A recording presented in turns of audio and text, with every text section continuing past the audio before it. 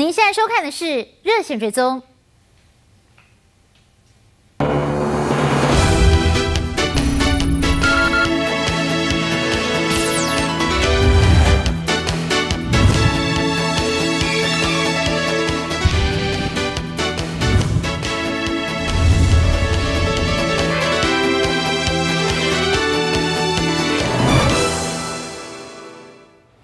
纵贯古今，横越东西。大家好，欢迎收看《日系追踪》，我是林如。今天节目当中呢，我们要带大家来看到的是古代女性在照片以及绘画当中呈现的形象。我们先带大家来看到的是，您晓得慈禧太后其实很喜欢照相吗？慈禧对相机一开始非常的排斥，认为相机会把人的魂魄给摄走。而清光绪的爱妃珍妃非常喜欢照相，甚至在紫禁城外头开启了照相馆，惹毛了慈禧太后，最后把她给丢进。古井里头，不过后来反倒是慈禧自己迷上了照相。据说在照相之前，她要亲自翻历书，选定良辰吉时，而且一拍完就迫不及待的想要看底片。而慈禧特别交代照相师不可以有皱纹，而且她很忌讳阴阳脸，所以呢脸上也不可以有阴影。她出的难题可是难倒了不少的摄影师呢。那不是照妖镜，这是洋人发明的照相机。哎，快把他给架到那儿去！这太后啊！哎哎哎！救命啊！太后啊！这太后，这这这这这。轰隆一声，震耳欲聋，点燃眉粉，如同闪光灯，补足光线，瞬间让人留下影像。慈禧太后在佛像前穿上袈裟，打扮成观世音菩萨，正襟危坐。太监李莲英扮作韦陀护法，双手合十，把金刚杵横放在手臂，变成神明化身。慈禧堪称是清末写真照的鼻祖，更是中国角色扮演的创始人。这是啥玩意儿啊？太后，这个是洋人发明的照相机，是我从法国给您带回来的礼物。照相机是干啥的呀？它能把您相貌逼真的给拍出来。太后，您站在这个花旁边，我现在就给您拍一张。哎呀妈呀，这咋这么神奇呢？这能把人拍进去啊？能啊，它运用光学原理，通过双凸透镜，不仅能把您给照进来，这里的一景一物啊，全都能拍进去。一些妃子呢，把他们打扮成像善男信女之类的哦，那些童男童女，把它打扮成就是一些像神话啦，像有具带有一些所谓神仙色彩的一些中国传统的一些意象，啊，那这个也是我们可以找到最早 cosplay 角色扮演的一个资料，甚至自恋到就是他会把它悬赏在。所谓的宫宫廷门外，让一些市市井小卒啦，或者让其他的那些大臣们哦，这样这样得去观赏。慈禧的自恋从拍照可以窥之一二，梳头、穿镜面衣服、拿团扇盛容照片。慈禧命人洗了一百零三张，赏赐给臣下。另一张照片，慈禧站立，左手拿净水瓶，右手拿杨柳枝，一旁站着一名宫女，手拿书册，上头有普陀山观音大士木牌。慈禧把自己当作救苦救难的化身，起因于太监李莲英奉承，命人依照慈禧模样。立了一座佛像，对慈禧大喊“老佛爷”。慈禧重视拍照，特别命人在颐和园大阵仗搭起布景。别动，这个姿势最漂亮，看我这边啊！一、二、三。哎呦！玉玉玲啊，给我拍进去没有啊？拍进去了。太好，我敢保证，这是一张绝对漂亮的照片。拍照的时候，你几乎很难想象，他当时的拍照搞得跟拍电影一样，因为他的拍照哦，还要先做布景。比如说八仙过海，他就扮这个仙人；王母娘娘的寿宴，他就扮王母娘娘之类的。然后慈禧她就穿的跟那个戏台上的一样，然后旁边李莲英就扮这个神仙啊，然后宫女就扮那些这个神仙的这个仙女们啊，然后布景装饰都做得非常漂亮。你可以想象一下，慈禧是用拍电影的角度在拍照片。当时的人很难想象一个木箱可以瞬间留下影像，这看似简单的拍照动作。当时要说服王公贵族站在镜头前让人像定格，可是需要有极大突破传统的勇气。封建时代帝后的图像和照片被认为是尊贵的表征，更牵涉到安全上的顾虑，不能随便传阅。否则就是杀头重罪。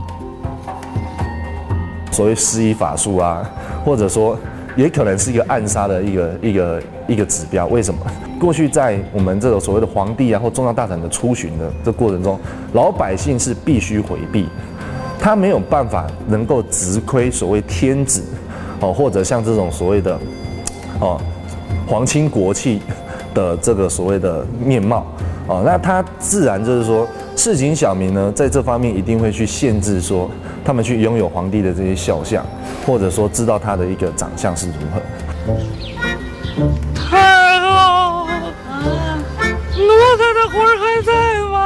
好好的，还在呢，在呢。奴才谢太后啊！哎呀，来个找茬把，你吓成这个样子。奴才谢哥哥，谢谢。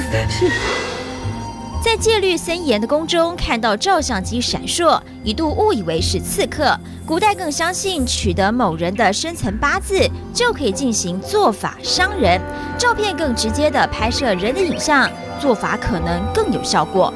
因此，保守的清宫内全景一时的慈禧，刚开始看到自己的影像被人摄影，一度认为相机会吸人魂魄，折人阳寿。他认为说这照相机会把照魂魄吸进去啊，更重要是因为从前照相机跟现在不一样，要拿一个煤煤土煤粉，然后一闪一下，这样才能够照起来。这样不管白天或晚上，光这一照，慈禧听说一开始被吓到了，哎，怎么会这样吓到？啊，甚至在鞭打旁边的小太监，你怎么没有讲啊？什么东西的？那照完之后，慈禧根据。旁边有讲说他好几天不高兴，他以为完了会瘦减瘦什么东西的，可是，一看照出来照片可以维持他的美，因为慈禧很爱美，所以慢慢的不排斥照相。照相机、电话和蒸汽火车被认为是清末的三大新鲜洋玩意儿。西元一八三九年八月十九日发明照相机，三年后中英鸦片战争，双方签订《南京条约》，相机技术从五个通商口传入中国。当时最早接触到相机的是负责签订中英五口通商章程的钦差大臣齐英。一开始接触照片，看得非常慎重。他把它叫做小赵，因为他不断的跟洋人接触，所以呢，洋人就跟他要个人的照片但是呢，齐英把这个事情看得非常慎重。还必须向当时的道光皇帝请示，是不是可以把我个人的小照交给洋人，来促进双方的外交关系？别看它没多大，能把你们俩全装进去啊！装得下吗？想装多少有多少。不光你们俩，这房子、这院子、这整个景仁宫，全都能装进去。那不成了白莲教了吗？什么呀？这叫照相机。得一治了。王公大臣当中，尤其以恭亲王奕欣最喜好摄影。一开始大家以为相片是逼真的绘画，真正把相机带进清宫中的，其实是光绪的珍妃。珍妃一向沉迷于新奇事物，托人买了一套照相器材，打破宫中禁止拍照的禁忌，在后宫女扮男装到处拍照，甚至在紫禁城东华门外开设一间照相馆，遭到慈禧查封。更直接的原因是珍妃涉及干政，挑战慈禧的权威，成为慈禧的眼中钉。竟敢在我眼皮底下伸手，他真是不知道我这个人呢，就是吃软不吃硬，偏拧着劲儿干。慈禧对珍妃呢有诸多不满。当然，珍妃个人呢恃宠而骄，比如说呢，她也有过卖官的传闻，而且自己呢也穿上了洋人的服装，甚至呢女扮男装，这个在当时的皇宫之中呢都是失仪的，所以慈禧对她相当不满。因此呢，当这个珍妃呢公然在皇宫里边玩起摄影技术的时候，慈禧太后是痛加诋毁的。一台相机牵动慈禧与珍妃的爱恨情仇，最终因为珍妃公开支持光绪戊戌变法，挑战慈禧最高权力，牵动慈禧的敏感神经。加上光绪情有独钟，冷落了慈禧的亲侄女隆裕皇后，于公于私交叉冲突之下，慈禧把对珍妃的偏见波及到对相机的印象，认为相机是西洋产物，最终引发慈禧的杀机。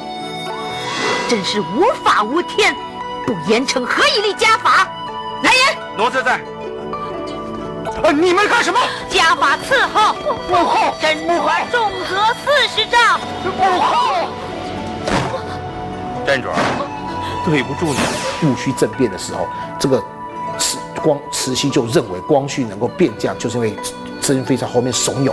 到了八国联军要进城的时候，所以慈禧才会命令李莲英跟崔玉贵两个太监就把他丢到井里面去。这场叛逆的珍妃与专制慈禧的对决，最终慈禧胜出。光绪二十六年，八国联军兵临北京城下，慈禧决定与光绪逃往西安，所有人聚集在宁寿宫后殿的乐寿堂。此时，慈禧打算一清新仇旧恨，强词不便带走珍妃，又借口珍妃留下会遭人侮辱，要珍妃自我了断。珍妃不肯，慈禧干脆命太监宫女把她推进井中。珍妃非常喜欢这个洋玩意，到处照相，花了不少钱，所以慈禧非常讨厌这件事情，把这个珍妃丢进井里，还毁掉她所有的照片跟照相机，只留下一幅正面的画像，就照，因为这幅照片中 照到皇帝，所以呢，这幅照片不能毁掉。珍妃生前的肖像照成为遗照，照片上珍妃的脸型丰满，上方写有“珍贵妃肖像”五个字，不过误植了“珍”字。八国联军后，慈禧回到北京。一改两年前仇视洋人的态度，变得崇洋媚外。恰巧驻法国公使玉庚回国，女儿德龄精通英法语，被请入宫中担任女官。儿子勋林成为慈禧御用摄影师。慈禧一改过去对照相的态度，反而希望照片记录生活。在崩逝前短短三年，拍了七百八十六张照片。掌握一个大权的一个所谓的重要人士来看的话，像这种肖像啊，哈，或者说他本身的个人形象的一种传播，事实上是在从政治学或者从所谓的心理学上是可见一可见一斑。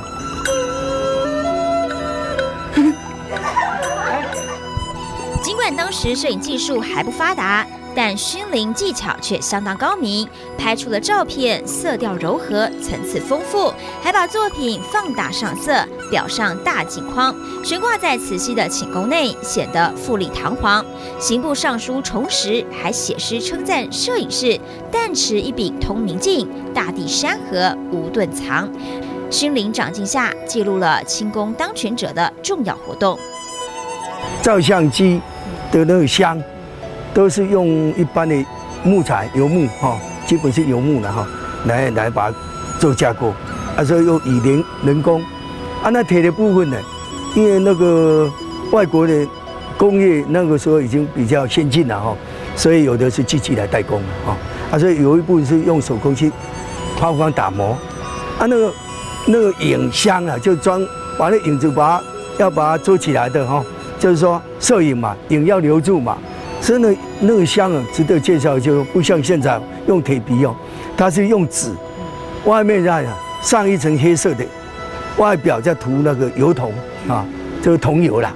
这台相机重达十一台斤，能随身携带拍照，脚架是木质，犹如现代摄影机脚架的始祖，收放自如。相机记录慈禧坐在中间宝座。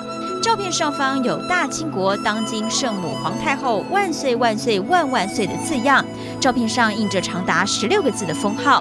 历史中，拍照是慈禧迷恋西洋产品的开始。虽然步入晚年，但对于新事物的接受能力令人出乎意料。怪是那个外国的科学原理哦，就不会哈，拿了很多照片给他看，他最后就被收服了。那最后呢，好像吃鸦片一样吃西哦。哦，他的照片传世很多。照相机记录了慈禧古板与开放双重性格，也目睹了西洋科技与封建朝代的冲击，如同慈禧从封闭到逐渐转为接受照相技术一般。最后，大清的万里江山终究难抵民主潮流，徒留照片见证历史。慈禧晚年不只是迷摄影，她也很喜欢让画师为她留下不同的画像。其中，美国女画家凯撒琳更是贴身在她身旁工作了九年。她觉得慈禧太后并不是一个冥顽不灵的老太婆，反而给了她很多创作的自由。这位被慈禧称为“柯姑娘”的女画家，对慈禧的评价是相当正面的。我们休息一下，带大家来看看清朝最认真的皇帝雍正，他对一组十二美人图是爱不释手，到底是为什么呢？